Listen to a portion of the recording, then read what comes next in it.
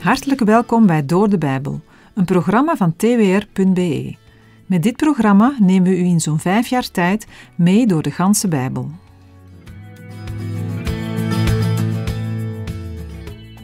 Vandaag uitzending 913. In Daniel 2 had Nebukadnezar een angstige droom gehad over een beeld. De Heere had de droom en de uitleg ervan aan Daniel bekendgemaakt. De profeet vertelt de koning vervolgens over de wereldrijken die het Babylonische Rijk zullen opvolgen en die in het beeld gesymboliseerd worden. De droom eindigt met een steen, die zonder menselijk toedoen raakt, tegen het beeld aanrolt, waardoor het beeld totaal verbrijzeld wordt. Er blijft niets van over, terwijl de steen uitgroeit tot een grote berg die de hele aarde zal vullen. Dat is het moment wanneer Christus als koning verschijnt. Dan zal hij een einde maken aan elke macht die zich tegen hem verzet.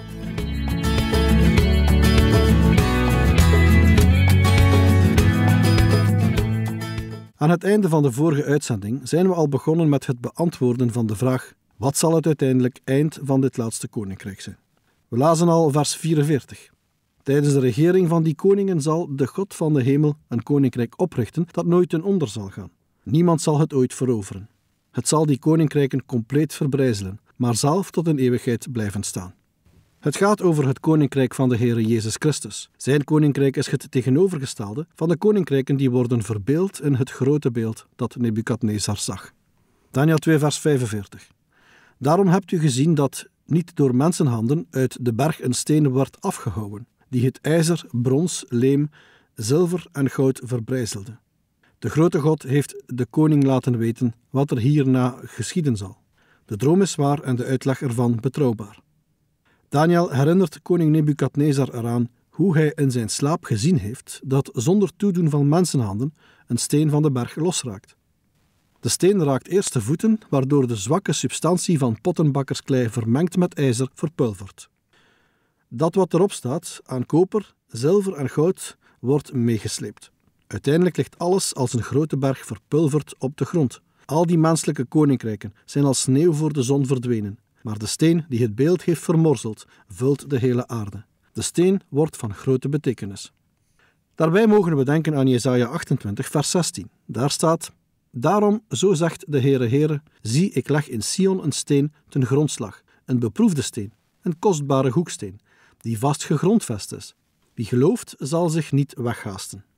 We lazen al eerder in Psalm 118, vers 22 over de steen die de bouwers afgekeurd hebben en die juist de hoeksteen is geworden. Ook de profeet Zacharia spreekt van die steen, waar zeven ogen op gegraveerd zijn. In Zacharia 3, versen 8 en 9 staat: Luister toch, hoge priester Jozua, u en uw vrienden die voor u zitten. Zij zijn immers een wonderteken, want zie, ik ga mijn knecht, de spruit, doen komen. Want zie, wat betreft de steen die ik voor Jozua neergelegd heb, op die ene steen zullen zeven ogen zijn. Zie, ik zal er zijn gravering in aanbrengen, spreekt de Heere van de legermachten. Ik zal de ongerechtigheid van dit land op één dag wegnemen. Ja, de Heere zal op één dag de ongerechtigheid, de zonden van zijn volk, verwijderen. Het zijn profetische woorden van Zacharia, die we terugvinden bij de oude Johannes op Patmos. In Openbaring 5, vers 6 ziet Johannes een lam staan met zeven ogen, die de zevenvoudige wijsheid van de Heere uitbeelden. Die steen met de zevenvoudige wijsheid van God erop gegraveerd lag volgens de Talmud enkele centimeters hoger dan het oppervlak van het Heilige der Heiligen. Op die hoeksteen staan de vier Hebreeuwse lettertekens met de naam van God gegraveerd. De hoeksteen waar hier sprake van is, is de steen waar Matthäus 21 van spreekt. We zagen al eerder dat de Heer Jezus zelf de steen is. Op die bijzondere dag dat Hij terugkomt, zal het eeuwige rijk van God beginnen. Een rijk dat niet door mensenhanden is gemaakt. De steen is het beeld van de wederkomst op aarde van de Messias, Jezus Christus. Het zal gebeuren als de grote afval van God gekomen zal zijn. Het kwaad zal haar hoogtepunt bereiken. Het woeden van de heidenen en het zinnen op ijdelheid zal steeds meer toenemen. Daarbij zal de haat tegen Israël wereldwijde vormen hebben aangenomen. Elk levend en tastbaar bewijs dat de Heere trouw is aan zijn profetische woorden, zullen mensen proberen te vernietigen. Laten we waken en ons niet in verleiding laten brengen aan het woord van God te gaan twijfelen. Gods koninkrijk zal zegevieren. En duizend jaar lang zal de aarde worden getoetst onder de persoonlijke regering van Christus. Afgezien van een kort ogenblik waarin het Satan en zonde zal worden toegestaan om hun laatste aanval op de rechtvaardige regering van God te doen, zal het koninkrijk voortduren in eeuwigheid. Daniel 2, vers 46.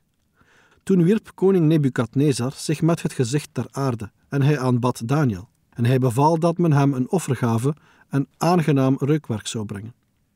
Het effect van Daniels uitleg op Nebukadnezar is zo diepgaand dat hij in feite Daniel vereert en anderen beveelt hetzelfde te doen. Hij weet niet beter. Hij kent alleen de verering van fysieke objecten. En hij bedoelt zo de levende en ware God te vereren. Maar in dit boek kunnen we ook de groei van het geloof in het hart van deze afgodische koning gadeslaan. Hij zal uiteindelijk in het fantastische licht van de kennis van God komen, maar dat is voor later. We zien hier al een begin. Het was even spannend hoe de koning zou reageren. Daniel heeft kracht en moed nodig gehad om het woord van de Heer aan de koning door te geven. In gedachten zie ik Daniel als jonge man voor de koning staan. De dag voor Daniel de droom en de uitleg aan de koning vertelde, hing zijn leven en dat van al de andere geleerden aan een zijden draadje. Wat zou de koning na de uitleg gaan doen? Het is namelijk niets minder dan een oordeelsaankondiging. En de jonge man uit Juda blijkt helemaal achter die boodschap te staan ook. Maar toen knielde koning Nebukadnezar voor Daniel en boog diep voor hem. De eerbewijzen die Nebukadnezar aan Daniel geeft, gaan ver uit boven die welke hij in vers 6 aan de geleerden, bezweerders, tovenaars en astrologen heeft beloofd. Hier is sprake van een eerbetoon die alleen aan de Heere toekomt, maar Daniel zal voor die eer wel bedankt hebben. Zo goed kennen we hem ondertussen al wel. En bovendien kunnen we het afleiden uit het feit dat hij in vers 45 benadrukt dat de grote God het de koning heeft laten weten. Daniel 2, vers 47. De koning antwoordde Daniel en zei: Waarlijk, uw God is de God der goden en de Heere der koningen. Hij openbaart verborgenheden, zodat u deze verborgenheid kon openbaren. Nebukadnezar vereert hier de brenger van Gods boodschap. De Heere is voor hem nog niet persoonlijk. Hij geeft God wel al een plaats boven de andere goden en koningen. Nebukadnezar erkent dat de Heere geheimen openbaart, maar verder gaat het niet. Ook ons heeft de Heere de droom van Nebukadnezar, door het lezen van het Bijbelboek Daniel, geopenbaard en uitgelegd. En meer nog dan dat. Wij weten van Jezus Christus. Daar wist Nebukadnezar niets van. Jezus Christus is uit de hemel naar ons mensen op deze aarde gekomen. Hij is als redder gekomen. Straks zal hij terugkomen op de wolken des hemels, maar dan als rechter. Daar weten wij van. Het is ons verklaard door dienstknechten van de God des hemels. Predikers die weten van de schrik van de Heer, maar ook gedrongen zijn door de liefde van Christus en mensen bewegen tot het geloof in Jezus. Christus roept jou en mij uit de wereld van het beeld dat vermorzeld wordt, naar de wereld van de steen, die heel de aarde zal vervullen. En wat doet dat bij ons? Zijn wij al van onze tronen afgekomen?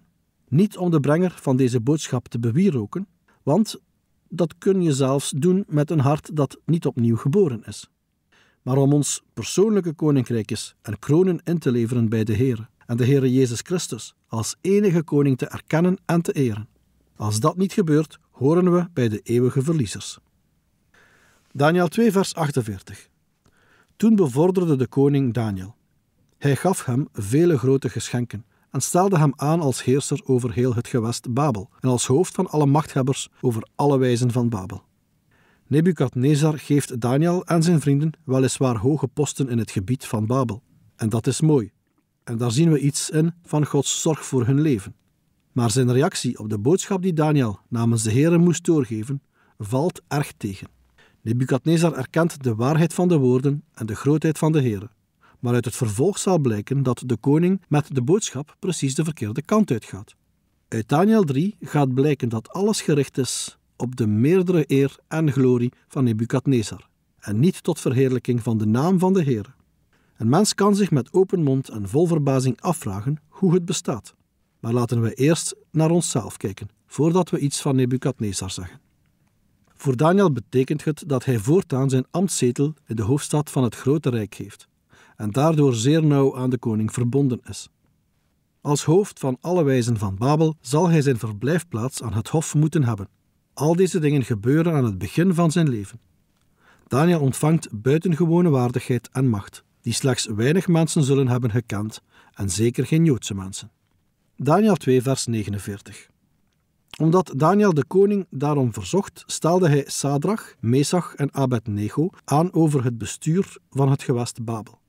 Daniel bleef echter in de poort van de koning. Het is niet zo dat de drie vrienden nu in de plaats van Daniel gaan optreden. Daniel blijft de verantwoordelijke heerser, maar zijn drie vrienden komen onmiddellijk onder hem te staan. De mededeling dat Daniel in de poort van de koning bleef, betekent dat zijn functie bleef aan het koninklijk hof. Kan erop wijzen dat zijn drie vrienden op verschillende plaatsen in de provincie hun ambt hebben uitgevoerd. Verder valt op dat de vrienden van Daniel bij hun nieuwe Babylonische namen worden genoemd, maar Daniel niet. Voor we naar het volgende hoofdstuk gaan, wil ik nog wat stilstaan bij Daniel als persoon. Daniel is een kenmerkende onderdaan van het eeuwige koninkrijk van God. In de persoon van Daniel laat het tweede hoofdstuk van het Bijbelboek zien welke roeping burgers van het koninkrijk der hemelen hebben in deze wereld, namelijk de verkondiging van wie de Heer is, wat hij doet en welke toekomst er wacht. Dat deed hij ook tegenover koning Nebukadnezar. Maar het weten van deze toekomstige gebeurtenissen had bij Nebukadnezar niet de gewenste uitwerking, omdat hij tenslotte meer voor eigen eer zal gaan dan de Heer de eer te geven. Maar de toekomstige gebeurtenissen zijn ook vandaag actueel. Veel mensen willen er van alles over weten. Vragen als: waar gaan we naartoe? Hoe loopt alles af? En andere gelijkaardige vragen houden veel mensen bezig. En juist op die vragen geeft Gods woord een antwoord. Alleen lijkt het erop dat de meeste mensen het antwoord op de vragen over de toekomst niet bevalt. De gebeurtenissen in Daniel 2 laten duidelijk zien dat alleen de burgers van het Koninkrijk van God een antwoord van de Heer willen ontvangen. Mogelijk vind je dat een sterke en gedurfde uitspraak. Maar hoe iemand ook over de Bijbel denkt, men kan niet ontkennen dat de Heer duidelijk aangeeft waar het naartoe gaat. Het gaat door alles heen naar de wederkomst van Jezus Christus. Dan zal er een moment komen dat Hij iedereen rekenschap zal vragen van alles uit ons leven. In Openbaring 20, versen 11 tot en met 15 staat: En ik zag een grote witte troon, en hem die daarop zat. Voor zijn aangezicht vluchtten de aarde en de hemel weg, zodat er geen plaats meer voor hen te vinden was. En ik zag de doden, klein en groot, voor God staan. En de boeken werden geopend, en nog een ander boek werd geopend, namelijk het boek des levens. En de doden werden geoordeeld, overeenkomstig wat in de boeken geschreven stond, naar hun werken. En de zee gaf de doden die in haar waren. Ook de dood en het rijk van de dood gaven de doden die in hen waren. En zij werden geoordeeld, ieder overeenkomstig zijn werken. En de dood en het rijk van de dood werden in de poel van vuur geworpen. Dit is de tweede dood. En als iemand niet bleek ingeschreven te zijn in het boek des levens, werd hij in de poel van vuur geworpen. Een cruciaal punt bij deze woorden is het boek des levens. Als iemands naam er niet in staat, wordt hij in de poel van vuur gegooid. En de poel van vuur is de eindbestemming van het graf en het dodenrijk. Maar wat is het levensboek? In Openbaring 3, vers 5 staat: Wie overwint, zal bekleed worden met witte kleren. En ik zal zijn naam beslist niet uitwissen uit het boek des levens. Maar ik zal zijn naam beleiden voor mijn Vader en voor zijn engelen. Het levensboek is het boek waarin vermeld staat wie het eeuwige leven hebben ontvangen. De mensen die daarin staan, gaan niet verloren. En wie zijn dat dan? In Johannes 3, versen 16 tot en met 18 staat: Want zo lief heeft God de wereld gehad, dat Hij zijn enige geboren zoon gegeven heeft, opdat ieder die in Hem gelooft niet verloren gaat, maar eeuwig leven heeft. Want God heeft zijn zoon niet in de wereld gezonden, opdat Hij de wereld zou veroordelen, maar opdat de wereld door Hem behouden zou worden. Wie in Hem gelooft, wordt niet veroordeeld, maar wie niet gelooft, is al veroordeeld, omdat hij niet geloofd heeft in de naam van de enige geboren Zoon van God. Ik weet niet wie er allemaal luistert, maar ik zou jou, die de Heere Jezus nog niet kent, met de grootste bewogenheid willen vragen. Laat je door Hem met God verzoenen. Vraag Hem op grond van Zijn verzoeningswerk aan het kruis ook jouw naam in Zijn levensboek te schrijven. Daniel 3, versen 1 en 2. Koning Nebukadnezar maakte een gouden beeld, waarvan de hoogte 60 el was en zijn breedte 6 el. Hij richtte het op in het dal Dura, in het gewest Babel. En koning Nebukadnezar stuurde een boodschap om de stadhouders, de machthebbers, de landvoogden, de raadsheren, de schatbewaarders, de rechters, de magistraten en al de autoriteiten van de gewesten te verzamelen, om naar de inwijding van het beeld te komen dat koning Nebukadnezar had opgericht. In de godsdienstige cultuur van Babel werden vaak beelden vereerd. Nebukadnezar wilde dit enorme beeld gebruiken om zijn koninkrijk tot een eenheid te maken en zijn macht te versterken door middel van een gecentraliseerde eredienst. Mogelijk werd hij door zijn droom geïnspireerd tot dit gouden beeld. In plaats dat het alleen een gouden hoofd had, is het beschreven beeld helemaal van goud. Nebukadnezar had nogthans gezegd: Waarlijk, uw God is de God der goden en de Heere der koningen.